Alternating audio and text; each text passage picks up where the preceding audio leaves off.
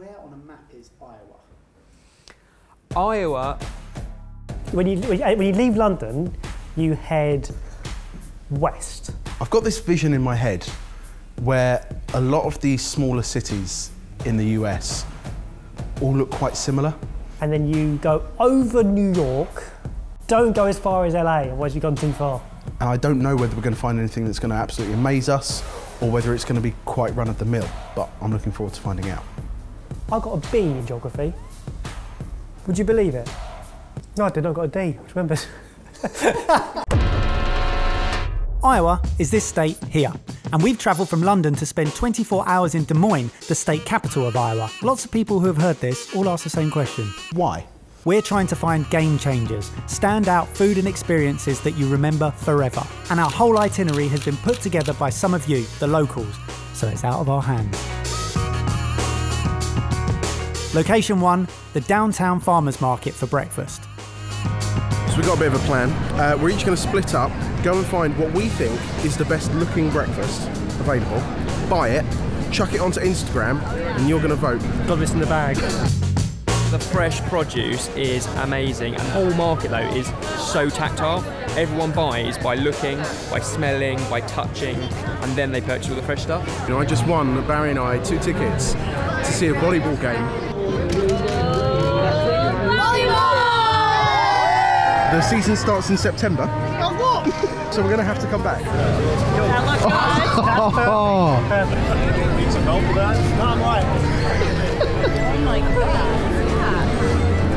This is amazing. I might fail on the looks department Yep. for my breakfast anyway. Oh, okay. But I've gone for a breakfast bowl which is full of sausage, potatoes, egg, onion, topped with cheese, salsa, sour cream, jalapenos, hot sauce. This is everything you want in a breakfast. This is a ton of yum, packed full of fresh stuff from the Ryan Hart family farm in Iowa, around the corner. It's got bacon, it's got fresh tomato, it's got zucchini, it's got buff mozz, it's got basil, and it's got an egg souffle. As you saw, Barry went big, American big, with an iced cinnamon bun. Another one of those really easy things to share. Just do it. I had all the samples, so I know how good that tastes. That's so good. Time to split up. Baz and Jay in search of gold, whilst Ben and I were sent here. The World Food Prize Norman Building. The World Food Prize recognises the achievements of individuals who have advanced human development by improving the quality, quantity, and availability of food in the world. I read that off the website. It's basically the Nobel Peace Prize for food, and it was started by this amazing guy, Dr. Norman E. Borlaug, who won the Nobel Prize back in 1970. He created this award to inspire others to make an impact globally through food. Since its inception in 1987, past winners have impacted millions of lives globally in overcoming challenges in poverty, malnutrition, obesity, water insecurity, just to name a few. And we were blown away. So the building is stunning, but around this kind of mezzanine, there are a few phrases that have been inscribed, and it actually says there that this is in celebration of the man who saved more lives than any other person who has ever lived, thanks to the advancement of the human condition by increasing the quality, quantity, and availability of food, because food is the moral right of all who are born into this world. Enjoying yourself? We're running out of time, but I'm going to make that bedtime reading. Dare I say it, I think this is the game changer of the future of food. And it's here in Des Moines. Meanwhile, Jay and Baz were here. This is the Iowa State Capitol, seat of the Iowa General Assembly, and it's located in Iowa's capital city, Des Moines. The commanding feature, in case you hadn't noticed it, is the central towering dome, constructed of iron and brick and covered with tissue paper thin sheets of pure 23 karat gold. Is that the same stuff you put on a cupcake? Probably is, you know. I've, I've never been inside a Capitol like building before. I want to recreate like a West Wing moment where there's a whole gaggle of us and we just walk around a corner talking about massive government issues. Tell them that we need to get the Senate into this immediately. Tell Congressman Smith that he's out. If he doesn't vote with us, he's against us. I know what you mean. Yeah. And I, but it just doesn't work with a shirt. Off the back of our food prize experience, I remembered something I'd seen back in the airport Cultivation Corridor, which we learned is an organisation built to support and sustain the science that feeds the world. And this is Billy, who was lovely, who told us some more of the cool stuff they're working on. We use our land to feed the world. And we're moving everything we've done with human health into animal health. Putting like a Fitbit on an animal, and so you know they're taking less steps. Well, maybe they're not feeling well. What's going on? And it's not technically a Fitbit, but it's similar to a Fitbit. You can put a sensor in a pig's nose. If it goes off, you know that one's not feeling well. And maybe you can take care of an issue before it hits your whole herd. Turns out Des Moines is doing some really amazing stuff. It was time to meet up. Nature was calling. Cue chubby lads in life jackets montage. We'll bring it back, promise. Jamie said you two are like um, that scene out of the notebook. I've just noticed Jamie's uh, life jacket. What are the chances that's going to work when he falls in?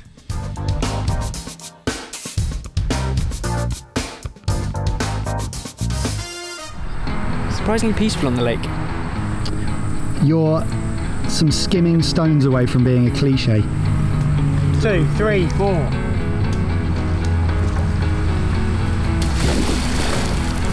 One. Next, you sent us for ice cream, and not just any ice cream, apparently the best ice cream on the earth. It's an amazing artisan, like ice cream done the old fashioned way, and it's got a pastry chef in there who does really innovative flavours. They don't do the classics, and it's all made from local grass fed dairy, milk, and cream. I have a blueberry pancake ice cream. I think there's actual pancake in the ice cream. I've got black cherry and white chocolate. Coffee, caramel, and donuts in ice cream. I'm pretty sure before mine was ice cream, mine was a really light, airy, fluffy, beautiful pancake with blueberries. And now it's just absorbed all the creamy dairiness from the ice cream.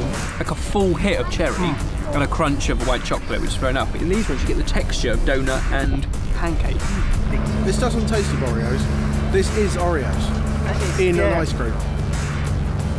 I, I would actually go out there. I'd say that was definitely the best ice cream I've ever had in my entire life. That blueberry pancake ice cream was was the best. Cute, Massive yes, you know it's going to be good, but you didn't expect it to be that good. like the whole of today, Mike's kept lots of secrets up his sleeve, but he's been most excited for this one, and therefore so am I. The last item on your list sent us here, proof. And according to locals, the best restaurant in the whole of Iowa. And they didn't even have a menu. What I'd love is that potentially you to be able to say one of the best meals of your life you ate in Des Moines. This month is tomatoes. So it's heirloom tomato season here in Iowa. So every course is going to be revolving around um, beautiful, colorful tomatoes. First course, heirloom tomato salad. So every colour and shape and size under the sun with some micro herbs and mozzarella ice cream. I know. It is really nice, but it takes a minute to get there because it's so different to what you're expecting. I know what you're thinking. What the hell is a confit tomato? I don't know either. But I can tell you what it tastes like. When the waitress brought this over, her exact words were, "There's a lot going on on this plate," and she had to get a piece of paper out to describe everything that was on it. We're not in Des Moines anymore. We're in Flavor Town. Oh, really? We're no. in Flavor Shut Town. Round three. They are pushing the boundaries of cooking techniques, but I also love they're using every part of the tomato and every cooking technique that I knew existed and a few that I didn't. This is the first course that's come to the table that's actually made me salivate based on what you can smell. A dish that tastes very different to it looks. I don't usually enjoy fish courses that much. I just don't because they're not meat. I do like this one. smells incredible. Oh. That is prosciutto wrapped chicken with melons. How do you make food taste like that? With every mouthful, you're like, I don't know where I'm going and if I like it. But by the end of it, you're like, I really enjoyed that journey and I want to do it again. Here he is. when he explained this dish to us, I went wobbly at the knees. And this is dessert just arriving now. This feels like a step too far just from the description. Basil ice cream! Basil! Of all the courses, the brownie is the most tomato. Basil ice cream is amazing. Man versus food, and we're still here. Barry's still here. Gentlemen, thank you so much.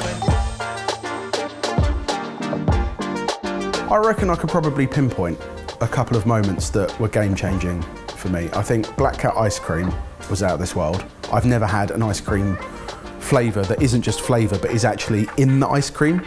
Um, I think Proof as a restaurant, that 10 course meal that we had, was a game changer for me. I've never had tomatoes so many different ways before. If you're open to finding new experiences, that is the place to go because I think you'll have a new experience every five minutes.